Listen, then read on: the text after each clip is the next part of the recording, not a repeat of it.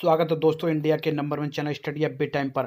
तो दोस्तों, अभी अभी रेलवे की तरफ़ से बहुत बड़ी यहाँ पर अपडेट निकल के आ चुकी है। रेलवे मंत्रालय की तरफ़ से भारत सरकार की तरफ़ से, यानी नरेंद्र मोदी जी ने अभी अभी दोस्तों बहुत बड़ा यहाँ पर कैबिनेट की मीटिंग के फैसले के बाद यहाँ पर और रेल मंत्री ने यहाँ पर फैसला लिया। उससे पहले दोस्तों, चैनल पर हमारे पर नहीं हो, पहली बार विज़िट किया और पहली बार फॉलो किया है।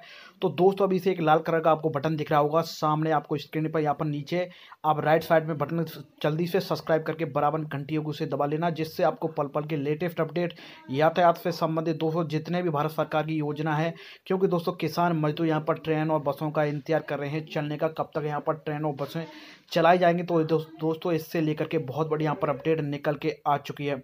तो दोस्तों, जी हाँ आप सभी को हम बता देना चाहते हैं, जितने भी राज्यों में किसान मजदूर बेरोजगार काम के लिए गए थे और वहाँ पर वो फंस चुके हैं, यानी लॉकडाउन के चलते स्थिति इतनी ख़राब हो चुकी है, अपने इंडिया की दोस्तों, आर्थिक स्थिति भी बहुत डाउन होती हुई जा रही है। इसको लेकर के यहाँ पर नरेंद्र मोदी जी और यहाँ पर रेल मंत्री पीयूष गोयल काफ़ी विचार और विमर्श कर रहे हैं कि सबसे पहले दोस्तों किन किन राज्यों से मजदूर गरीब किसानों को निकाला जाए? क्योंकि दोस्तों, उन्होंने कहा है कि भीड़ की संख्या को देखते हुए कितने ट्रेनों को चलाया अगर ज़्यादा दिन अगर ट्रेन को चलाई जाती है तो समस्या यहाँ पर ज़्यादा खड़ी हो सकती है। तो दोस्तों, आप कौन से राज्य में फंसे हुए हैं? कितनी आपको प्रॉब्लम समस्या हो रही है? क्योंकि दोस्तों, किसान मजदूर प्रॉब्लम समस्या हो रही है। इस चीज़ को नरेंद्र मोदी जी और पीयूष गोयल इस बात को समझ रहे हैं। किसान मजदूरों को परेशानी हो रही है। क्योंकि दोस्तों लॉकडाउन को चलते सभी राज्यों से किसान मजदूर लॉकडाउन यानी कि जिस दिन से लगा था उस दिन से सभी पैदल पैदल चलना शुरू हो गए थे। बाजे बाजे किसान मजदूरों ने कम से कम छः सौ किलोमीटर की पैदल यात्रा की। उसके बाद दो सौ किलोमीटर की यानी बिहार से पटना तक गए हैं, दिल्ली से पटना गए हैं। बिहार केरल तक यहाँ पर सभी मजदूर बेरोजगार गए हैं। तो ये सभी को परेशानी को वो समझते हैं तो उन्होंने यहाँ पर फैसला किया है कि जितने भी किसान मजदूर बाहर फंसे हुए हैं। यानी कि दूसरे राज्यों में, यानी हरियाणा है, पंजाब है, राजस्थान है, या फिर हैदराबाद है, तमिलनाडु है, केरल है, सिकंदराबाद है, उड़ीसा है, मध्य प्रदेश है, गुजरात। इन राज्यों में दोस्तों मजदूर फंसे हुए हैं और यूपी आना चाहते हैं या फिर दिल्ली जाना चाहते हैं, अपने घर जाना चाहते हैं। इसको लेकर के मजदूरों के दिमाग में, यानी कि ये सवाल सबसे ज़्यादा उठ रहा है, क्या चौदह अप्रैल लॉकडाउन ख़त्म होने के बाद, क्या रेल सेवा फिर से शुरू हो जाएगी या फिर बीच में बंद तो नहीं होगी?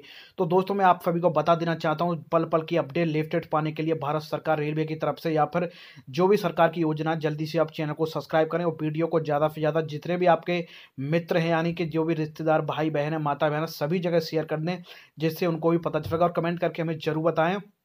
कि आपको वहाँ पर क्या परेशानी हो रही है। अगर आपको सुविधाएँ वहाँ मिल रही हैं तो दोस्तों आप वहाँ रुक सकें और सरकार से अपील की गई है कि सभी को बढ़िया तरह से खाने की व्यवस्था की जाए, कोई भी भूखा नहीं रहे। सरकार यहाँ पर 80 करोड़ से ज़्यादा यहाँ पर सभी को भोजन करा रही है और सभी के खाते में पैसे भी ट्रांसफ़र कर रही है। तो दोस्तों सरकार यहाँ पर सभी के खाते में पैसे ट्रांसफ़र दो दो हज़ार रुपये कर रही है क्योंकि दोस्तों इस आर्थिक तंगी के कारण कोई भी मजदूर, बेरोजगार सभी फैक्ट्रियाँ यहाँ पर बंद हो चुकी हैं और सभी जितने भी किसान मजदूर हैं, क्योंकि कंपनी बंद होने के बाद उनके लिए यहाँ पर राशन की व्यवस्था दोस्तों सरकार की तरफ़ से की जा रही है। सभी को दोस्तों राशन यहाँ पर दिया जा रहा है फ्री में। और आपको बता दें, रेलवे की तरफ़ से यहाँ पर पंद्रह से अठारह अप्रैल तक यहाँ पर ट्रेन चलाने की पूरी पूरी संभावना है। और मोदी जी ने यहाँ पर यह फैसला लिया है कि जो दूर मजदूर फंसे हुए हैं, यानी कि वो मजदूर अपनी समस्या को बताएँगे। कि हमें सबसे ज़्यादा प्रॉब्लम या समस्या क्या हो रही है, जिससे उन मजदूरों को वहाँ से निकाला जा सके। ये दोस्तों, रेल मंत्री पीयूष गोयल और नरेंद्र मोदी जी यहाँ पर विचार कर रहे हैं अधिकारियों को निर्देश दे रहे हैं कि सभी ट्रेनों को सैनिटाइज करें, जितने भी उत्तर पश्चिमी रेलवे हो चाहे दक्षिण पश्चिमी रेलवे हो, चाहे दोस्तों यानी जितनी भी सिकंदराबाद, हैदराबाद में ट्रेनें, यहाँ पर तमिलनाडु में दोस्तों कितनी ट्रेनें आने वाली हैं, सब पर विचार किया जा रहा है। कितनी दोस्तों ट्रेन चलाई जाएँगी? क्योंकि दोस्तों ज़्यादा ट्रेन चलाई जाती हैं तो भीड़ भाड़ यातायात की समस्या हो सकती है। ट्रेन बसें भी चलेंगी, उसके साथ साथ रोडवेज़ बसें भी चलाई जाएँगी, हवाई जहाज़ भी चलाए जाएँगे। तो दोस्तों, इससे भीड़ भाड़ की स्थिति को ना देखते हुए कोरोना का संकट इस समय ज़्यादा दोस्तों हावी हो रहा है अपने देश पर। क्योंकि दोस्तों, इस समय कोरोना का संकट पूरी इंडिया के अंदर करीब चार हज़ार से ज़्यादा का आंकड़ा पार चुका चुका है। उसमें एक सौ चौंतीस की यहाँ पर डेथ हो चुकी है। सरकार दोस्तों, आपसे अपील कर रही है कि आप ज़्यादा से ज़्यादा घर पर रहिए, बिल्कुल भी बाहर मत निकलिए, नहीं तो आपको बहुत बड़ी यहाँ पर समस्या देखने को मिल सकती है। क्योंकि दोस्तों, सरकार ने यहाँ पर यही लॉकडाउन किया है कि आप बाहर ना निकलें, लक्ष्मण रेखा का दोस्तों पालन करें, जितने भी गरीब मजदूर, किसान, बेरोजगार, क्योंकि दोस्तों आपको समस्या हो रही है, सरकार इस चीज़ को विचार विमर्श कर रही है, सभी को निकालने की कृपया निकालने पर भी विचार बना रही है, क्योंकि सभी को यहाँ पर गरीब मजदूर किसानों को उनके घर तक भेजा जाएगा। इस पर सरकार दोस्तों सोच रही है और विचार भी कर रही है, ये सोच रही है, जितनी दूर मजदूर फंसे उनको सबसे पहले लाया जाएगा और सभी मजदूरों को यहाँ पर घर तक छोड़ा जाएगा। इस सरकार यहाँ पर विचार कर रही है। कोरोना की इस महामारी के चलते यहाँ पर बताया गया है कि जितने भी विदेश के अंदर मरीजों की संख्या इस वजह से ज़्यादा बढ़ रही है, क्योंकि सबसे ज़्यादा अभी अमेरिका दोस्तों, अमेरिका में फ़र्स्ट स्टेज पर वहाँ पर चल रहा है। दोस्तों, चाइना की अगर बात की जाए, चाइना बिल्कुल ये समझिए, बिल्कुल आर्थिक स्थिति उसकी मज़बूत हो चुकी है, अर्थव्यवस्था भी उसकी तंगड़ी होती जा रही है।